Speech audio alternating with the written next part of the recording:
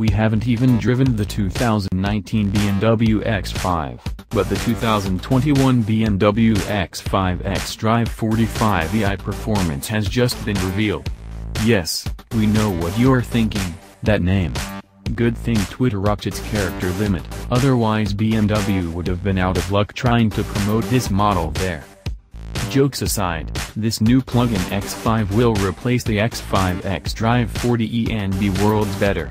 Pegged for US showrooms in 2020, the new electrified X5 will ditch its 2.0-liter turbocharged four-cylinder for a boosted 3.0-liter inline-six making 286 horsepower. This will be paired to a 112 horsepower electric motor for a total system output of 394 horsepower and 443 pounds-to-foot of torque. An 8-speed automatic transmission is connected to BMW's all-wheel drive system.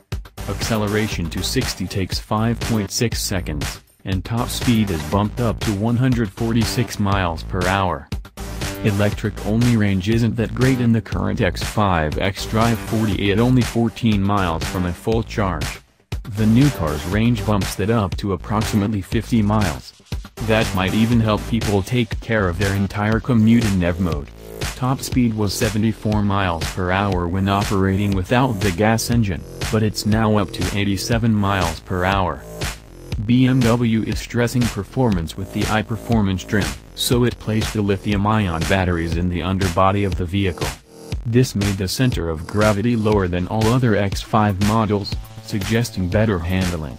It's said to lose about 5 cubic feet of storage due to its battery pack, though. Not terrible considering the range those batteries provide. Europe is slated to get the car sometime in 2019, but the US will have to wait. Pricing isn't available for this 2021 car, and likely won't be for a while yet.